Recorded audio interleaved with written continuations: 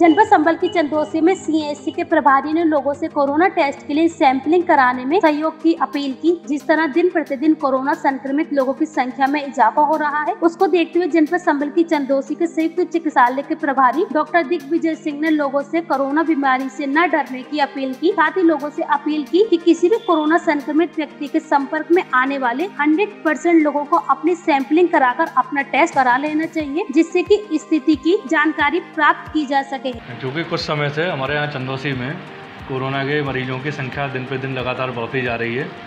और ऐसा सुनने में आया है कि चंदोसी में जो सैंपलिंग का रेट है, वो बढ़ा तो है, लेकिन उस स्तर तक नहीं बढ़ा जितनी हमें उम्मीद है या जिस स्तर का बढ़ना चाहिए।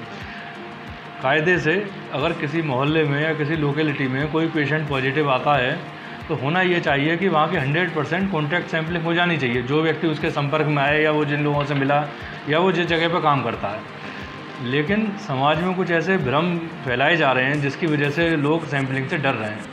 तो मेरा कहना ये है, अगर कोई इस तरीके का मन में वहम है या कोई भ्रम है तो आएँ हमसे सवाल पूछें। हम बिल्कुल चौबीस घंटे आपके लिए खुले हुए हैं। हमारा फ़ोन नंबर लें और सैम्पलिंग से बिल्कुल पीछे ना हटें। अगर कोई आदमी पॉजिटिव आता भी है तो उसके लिए सारी व्यवस्थाएँ हैं। अब होम आइसोलेशन की व्यवस्था भी शुरू हो गई है। तो ये कोई ऐसे भय वाला माहौल बनाने की ज़रूरत नहीं है। और सैम्पलिंग में सहयोग दें, ज़्यादा से ज़्यादा और लोगों को भी प्रेरित करें, खुद भी प्रेरित करें, हों, जिससे पूरी चंदोसी कोरोना मुक्त हो जाए। ऐसा ही मेरा आपसे अपील है कि सभी लोग यहाँ आएँ, इसमें सहयोग करें, सरकार का सहयोग करें, अस्पताल का सहयोग करें। ठीक है, धन्यवाद।